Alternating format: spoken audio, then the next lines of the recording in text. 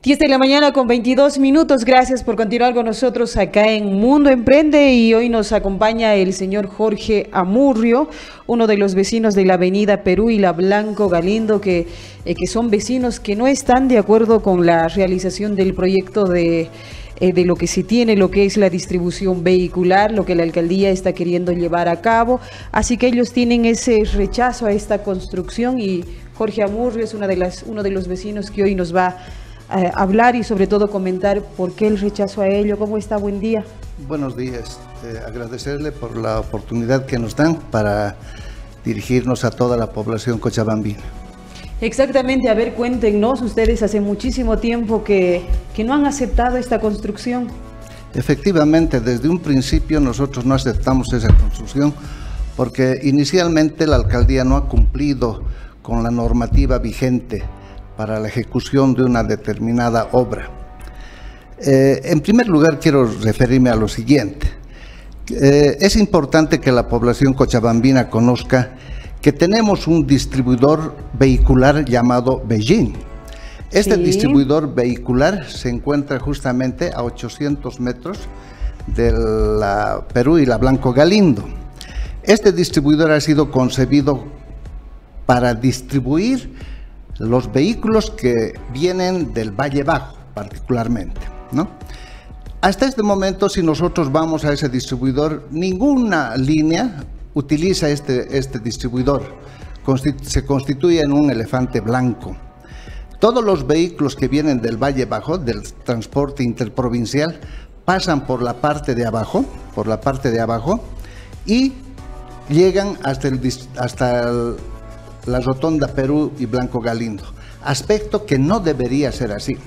La alcaldía en el momento de su inauguración debería ya realizar un plan de ordenamiento, de manera que todos esos vehículos que vienen del Valle Bajo deberían tomar este distribuidor, utilizar este distribuidor y los que van hacia la cancha, a la terminal 6 de agosto y otras eh, eh, calles, deberían tomar y dirigirse hacia el sur a partir de este distribuidor, llegar hasta la capitán eh, hasta la capitán Ustaris y de ahí empalmar hasta por su antigua ruta, ¿no es cierto? Igualmente los vehículos que van hacia el norte, tomar este, utilizar este distribuidor, ir por la parte norte y podían utilizar varias avenidas, la, la Ese sería el uso correcto. Lo correcto.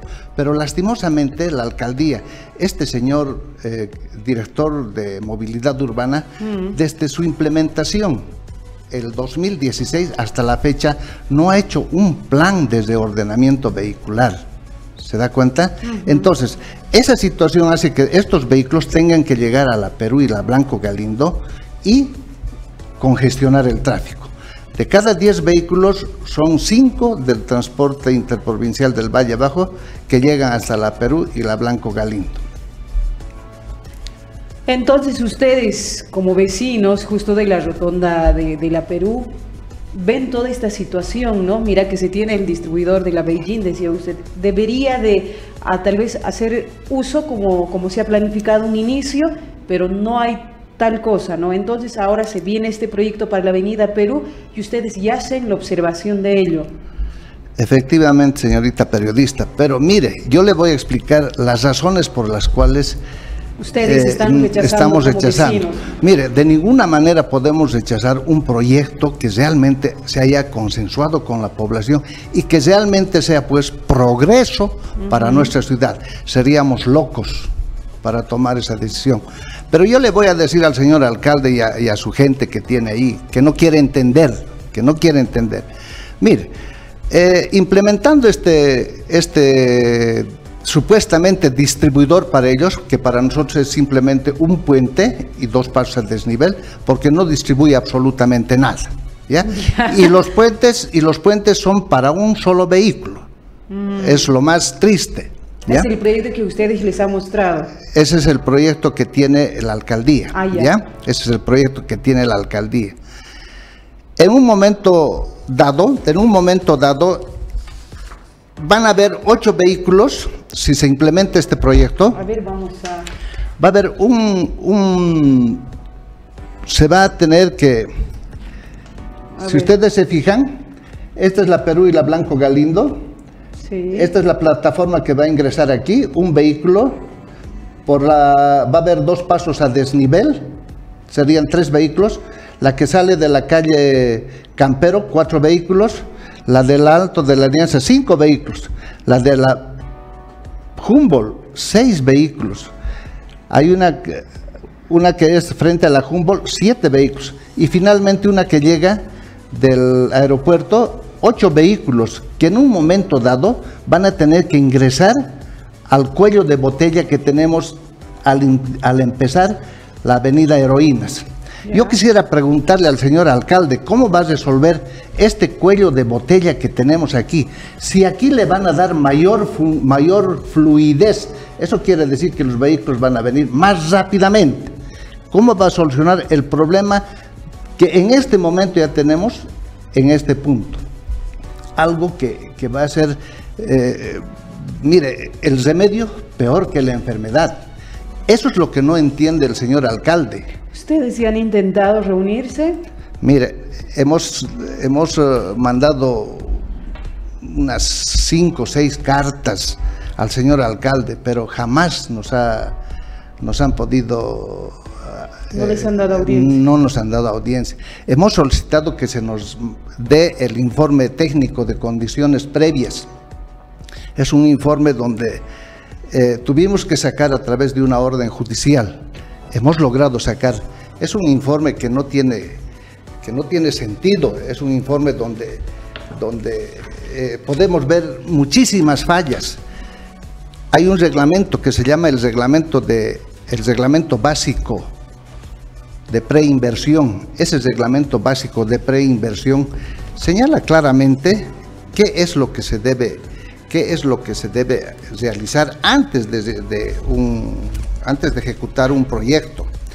Este reglamento básico, en su artículo 4, ámbito de aplicación, dice, el reglamento básico de preinversión es de uso y aplicación obligatoria para todas las entidades del sector público que ejecutan proyectos de inversión. No dice menos la alcaldía, dice para todos. Lastimosamente, este, este, este el reglamento no ha sido cumplido por la alcaldía. Ellos dicen que tienen, no tienen, por ejemplo, el compromiso social documentado. No tienen. Simplemente tienen unas listas, unas listas que no significa que es el acuerdo que tienen los, los vecinos. Son listas, simplemente. Listas, ¿no? El estado de la situación del derecho propietario. Ellos indican que no es necesaria esa situación. Sin embargo, tenemos eh, el derecho de vía, nos indica que la ABC es la responsable de emitir un, una, una orden para que ellos puedan construir. No hay tal situación en el informe técnico de condiciones previas. No tienen hasta este momento eh, eh, algo que, les pueda eh, señalar y decir, aquí está, hemos cumplido con toda la normativa. Falso. Yo tengo toda la, documentación que la misma alcaldía nos ha proporcionado y que ahí hemos encontrado muchísimas fallas. ¿Y ustedes como vecinos fueron a cuando la alcaldía convocó para una socialización de este, de este megaproyecto, porque así ellos lo han llamado. ¿Ustedes no fueron ahí, que era en julio? Eh, ¿Sabe qué pasa, señorita periodista? Eh, fuimos, inicialmente, la alcaldía eh, lanza una convocatoria para la socialización del proyecto. ¿ya? A las horas cambian, cambian y dicen va a ser una consulta pública. ¿ya? Lastimosamente, el señor alcalde no está bien asesorado. Una consulta pública no sirve para definir si se construye o no se construye una obra. El reglamento de prevención y control ambiental, en su artículo 162, señala claramente para qué sirve la consulta pública, señor alcalde. Dice, en la fase de identificación de impactos para considerar un EEIA, el representante legal deberá efectuar, dice, la consulta pública para tomar en cuenta observaciones, sugerencias y recomendaciones del público que pueda ser afectado por la implementación del proyecto, obra o actividad. Más claro, señor alcalde, agua. No es para ir a, un determinado lugar, preguntar a la gente, reunir a, personas de la zona sur y preguntar si están de acuerdo o no con, con la construcción de la obra, como lo que ustedes han hecho. Eso es nulo de pleno derecho.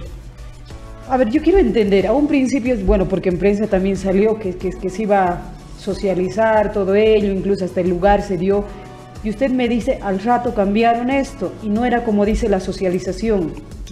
Socialización es solamente, es, otra cosa.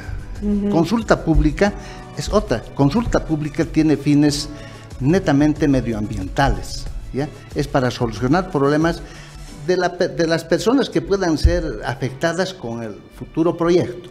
¿ya? No es para ir a, un determinado lugar, reunir gente y preguntarles si están de acuerdo o no están de acuerdo, no. Tiene una metodología, la, la consulta pública tiene una metodología de consulta. Inclusive puede durar 15 días, 20 días, un mes, tres meses, seis meses, un año. No es que se va a resolver en cinco minutos, señorita periodista. Están mal asesorados. Ese día, ¿estaban los vecinos de la Perú? Mire, hemos estado los vecinos ahí, pero nos han exigido que firmemos. Nosotros no tenemos por qué firmar ninguna situación. ¿no? Si es una, es una invitación pública, ¿por qué tenemos que firmar? Pero sabemos ¿Para qué tenían que firmar? Sabemos las mañas que tiene la alcaldía. En este informe que, que es del programa de prevención y mitigación y el plan de aplicación y seguimiento ambiental, ahora ellos ponen esta situación de la consulta, justamente la ah. firma, ¿ya? Como si fuera un documento que avala la, la Ahora se entiende mejor. Ahora, mire, aquí no están con sus nombres completos. No existe el número del carnet de identidad. ¿Se da cuenta? Mm. Entonces... Todos son vecinos. Todos son vecinos, todos son vecinos y es pues una pena que la alcaldía tenga que proceder de esa manera. ¿no? Entonces, eh, me parece que la alcaldía está queriendo realizar este proyecto a como dé lugar. Señor alcalde, sería conveniente que usted hable con la mayor honestidad a nuestra gente y les diga cuál la razón, cuál, cuál es la, razón por la cual hay tanta desesperación para poder construir esta, este, este, este mamotreto de, de cemento. Hoy en día, señorita, estamos pasando por una situación muy especial respecto al medio ambiente. A causa de las quemas y las tala y la tala indiscriminada de árboles, mm. es que estamos soportando esta, esta situación del calor. Y este es un inicio, este es un comienzo de lo que viene después. Pero la alcaldía no entiende eso. Son 150 árboles que van a ser trasladados, supuestamente, de acuerdo a ellos, o trasplantados. Entre esos hay 16 árboles de molle que por la ley 1278 están prohibidos de, su tala. A ver, este señor dice, hermano Juan García, dice, a ver, la OTB Jaihuaico no está en contra de la construcción del puente, pero la forma de diseño está mal para los intereses económicos, culturales, turismos y tráfico vehicular, lo que usted decía, ¿no? Eh, mire, yo me puedo referir a la, al diseño de la, de la Perú y la Blanco Galindo.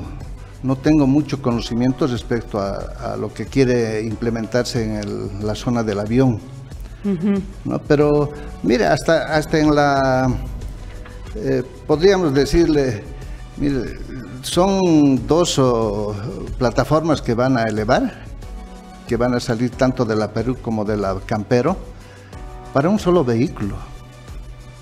¿Qué va a pasar si un vehículo eh, se para en, ahí arriba? ¿Qué, puede ocurrir? Entonces, Eh, no se puede comparar una estructura como la del distribuidor Beijing. El distribuidor Beijing se ha hecho porque tiene 62 metros de ancho esa, esa avenida. La avenida Perú tiene 20. Entonces mm. no, se puede comparar, no se puede hacer en una avenida de 20 metros un distribuidor eh, similar. ¿Qué va a ocurrir ahora? Porque esto, la alcaldía dijo que sí se va a ejecutar el proyecto. Eh, nosotros ya, eh, ya tenemos, hemos, nos encontramos en una, hemos planteado una acción medioambiental. Ya el gobierno tiene que responder en estos días a esa situación. Y está en manos de la señora juez la paralización porque tenemos todos los argumentos necesarios. Realmente ustedes, los vecinos, mira que se han dado la molestia de poder recabar toda información de que eh, realmente si tienen este rechazo es porque tienen pruebas, tienen todo que les, que les está documentando ahí, ¿no? Efectivamente, señorita.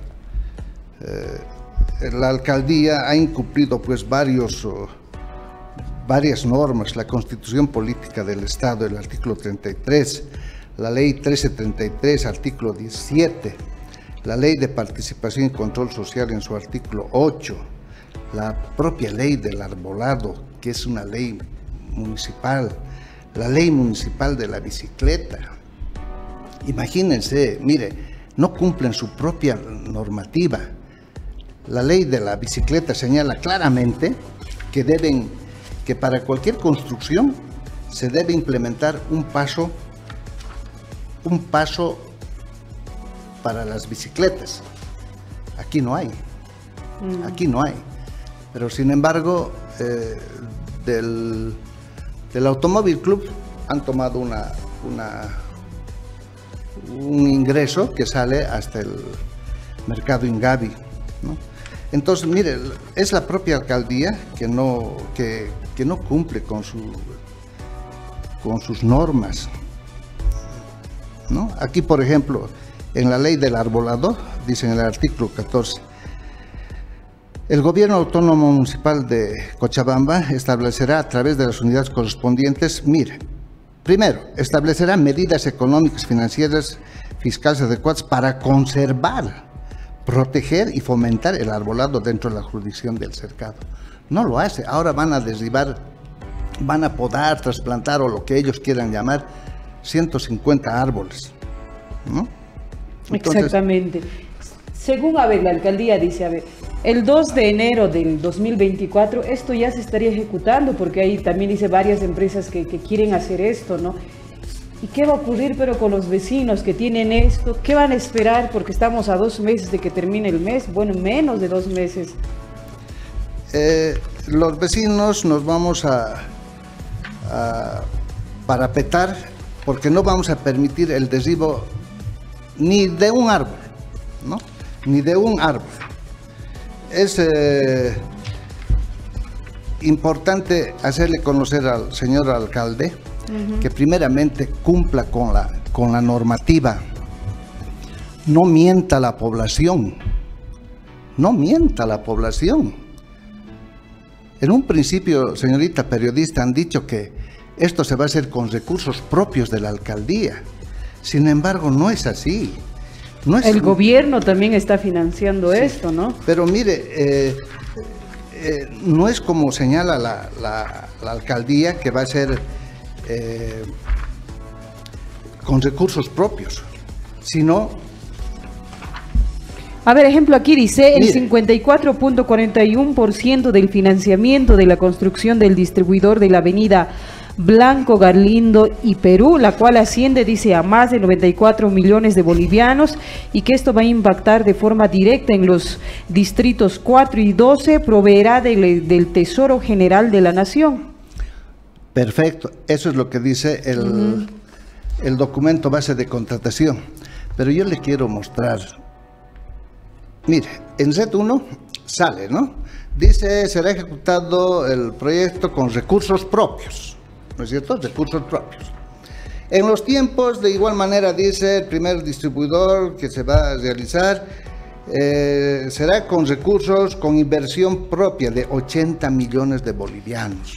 80 millones. En esa época era 80, ahora ya son 94. Sí. Nuevamente, en los tiempos sale, eh, tendrá un costo de 80 millones de bolivianos que serán financiados con recursos propios, indicó Panoso.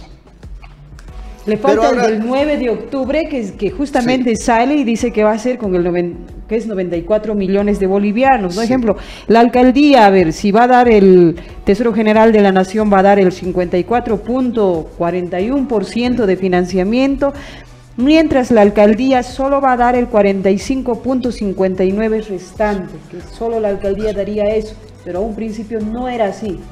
Pero, señor alcalde, no siga mintiendo a la población salga con la verdad, salga con la verdad. Aquí está el documento base de, contratación que dice recursos propios 45.59% y recursos de la participación popular el 54,41%. Entonces, ¿quién miente? ¿Quién miente? Es importante ahora que los de control social, quiero llamar la atención ahora de control social, para que vean esta situación. Si se van a emplear recursos de la participación popular, entonces, eh, eh, ¿por qué en un momento, en un primer momento señalan que va a ser con recursos propios? Eso significa que al año las eh, diferentes OTBs no podrán ejecutar sus obras de prioridad. Claro, a ver, le voy a leer, dice, a ver, la alcaldía especifica que la ficha del proceso de contratación de la mega obra vial a la cual tuvo acceso el periódico Opinión. Consultado sobre el financiamiento de esta importante obra, el secretario de Planificación y Medio Ambiente de la alcaldía de Cochabamba, Marcel Panoso, derivó la consulta al secretario de Finanzas, Mauricio Muñoz. Este indicó no tener acceso a este dato. A ver, lo cierto es que el acuerdo, eh, de acuerdo al documento base de contratación de licitación, la presentación electrónica y la apertura de propuesta está fijada en pocos días para el 13 de octubre, que era a las 9.15. Mire que ya pasó también. Sí. Eh, como le digo, el arquitecto Marcel Panoso en un principio señalaba a varios medios de comunicación que iban a ser con eh, recursos, propios. Lastimosamente ahora eh, manda a los periodistas a que el señor Mauricio Muñoz tenga que responder a esa pregunta. Sea honesto, pues, señor Marcel Panoso, hable con la verdad a los cochabambinos, no mienta y ni le haga mentira al señor alcalde. Eh, Mire, le, voy a dar otra información. Este es el informe de técnico de condiciones previas, ¿no? Que se debe elaborar inicialmente, inicialmente, ¿ya? Inicialmente. Eh, aquí está la socialización, el documento base, el, compromiso social documentado, tenían que ver el derecho propietario eh, y la ficha ambiental, todo eso. Hasta este momento no tienen ficha ambiental. No tienen ficha ambiental. ¿Ya? Sin embargo, el señor alcalde, el señor alcalde, mire, ya ha firmado este, este decreto edil el 25 de agosto del 2022. Señor alcalde, le han, le han hecho meter la pata. Este informe técnico de condiciones previas es un documento incompleto. Claramente se lo voy a leer aquí que dice respecto al compromiso social documentado. Dice, no se tiene la fecha. El derecho propietario. Aquí abajo dice, no requiere demostrar derecho propietario municipal. Falso. Mm. No tienen la ficha ambiental hasta este momento. No tienen.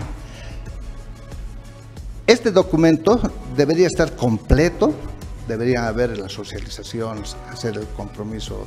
Para empezar con la obra, como se dice en, y después, año, ¿no? El señor alcalde debería firmar recién su decreto edil. ¿ya? Mm. Pero lo firma el año pasado. ¿ya? Pero mire, lo más, eh, ¿no? en el artículo 3 dice, eh, siendo los señores los servidores públicos que emitieron y suscribieron los informes que motivan, recomiendan y sustentan la elaboración de la presente disposición municipal, les dice, son exclusivos responsables de estos documentos, conforme al artículo 38 de la ley 1178. Y el alcalde firma, ¿no? Lavándose las manos, les dice, cualquier cosa que haya, ustedes son los responsables. Aquí está su decreto edil número 176, señor alcalde. No han cumplido con la norma. Terrible, ¿no? Hasta ahora todo lo que se está haciendo.